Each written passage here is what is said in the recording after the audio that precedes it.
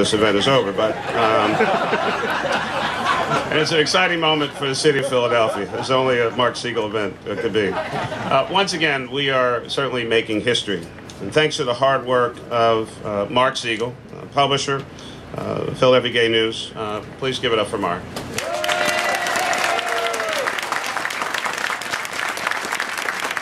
I'm pleased to inform you that as a part of the requirement uh, for today's event, actually every 10 minutes, uh, we will uh, give a round of applause to Mark.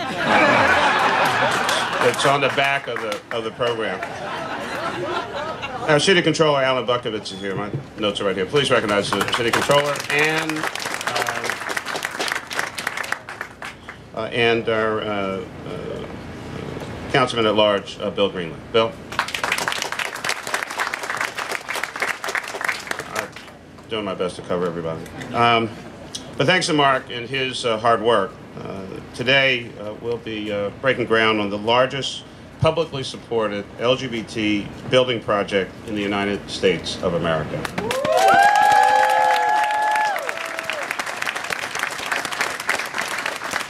Once completed, this project will provide 56 units of affordable housing to people 62 years and older. The facility will be energy efficient, generating more than 5% of, it, of the total energy that it uses from within the building.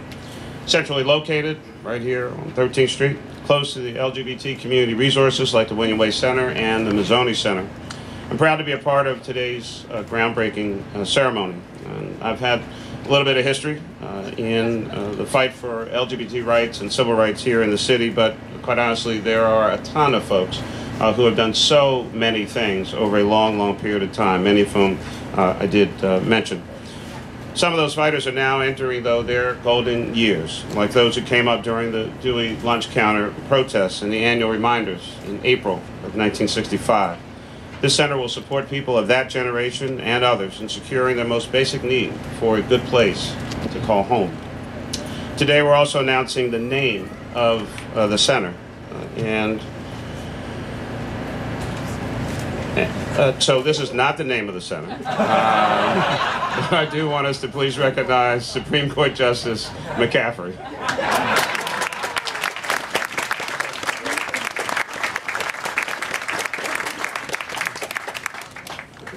The timing is everything. is a Mark Segal affair. Please recognize Mark Segal one more time. For Philadelphia, the struggle for equality and justice has been a daily battle. Uh, but since 1982, it's one that has tipped more and more, and we saw that on Tuesday in a couple states across the country, more and more in favor of uh, human dignity and freedom. 30 years ago this year, the city of Philadelphia passed what is commonly known as the Gay Rights Bill, provided for sexual orientation protections under the city's fair practices ordinances. The Gay Rights Bill is the foundation uh, for which uh, all of our other LGBT protections are built. Gender identity, domestic partner benefits, life partnerships, and the Equal Benefits Bill. This center is named after a quite charismatic leader uh, who played a central role in the passage of the Gay Rights Bill at that time. This person also played a tremendously important role uh, in my life as well. And so I'm pleased to announce uh, today that uh, this uh, center will be named after the person who is most responsible for me being in the position that I am today, and that is the late Councilman at Large, John C.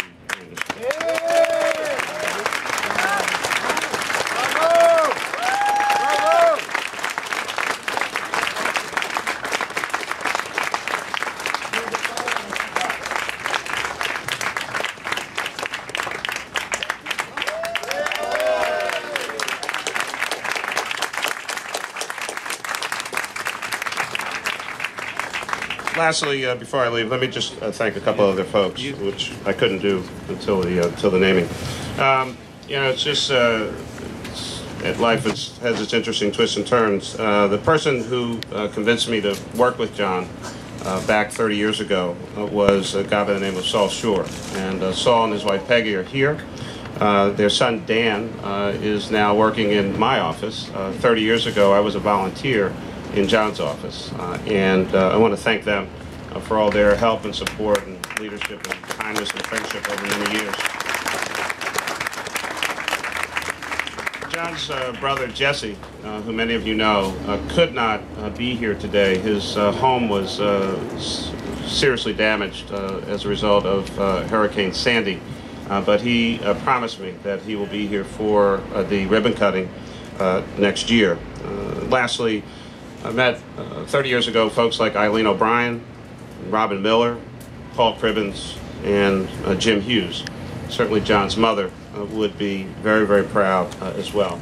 I think of him every day.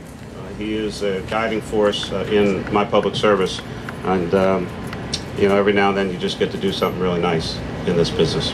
God bless you, and thanks a lot. Thanks, Mark.